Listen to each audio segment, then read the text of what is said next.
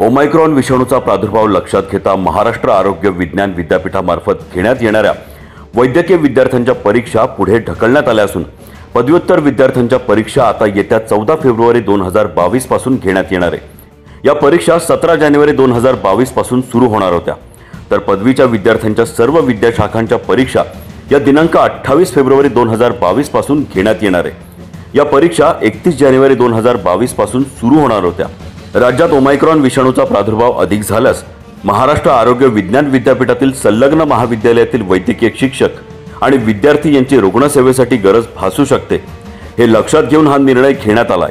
महाराष्ट्र आरोग्य विज्ञान विद्यापीठाचे प्रति कुलपती तथा वैद्यकीय शिक्षण मंत्री अमित विलासराव देशमुख यांच्या अध्यक्षतेखाली दूरदृश्य प्रणालीद्वारे काल केलेल्या बैठकीत हा निर्णय घेण्यात आलाय. ब्युरो रिपोर्ट जागर जनस्थान न्यूज नाशिक.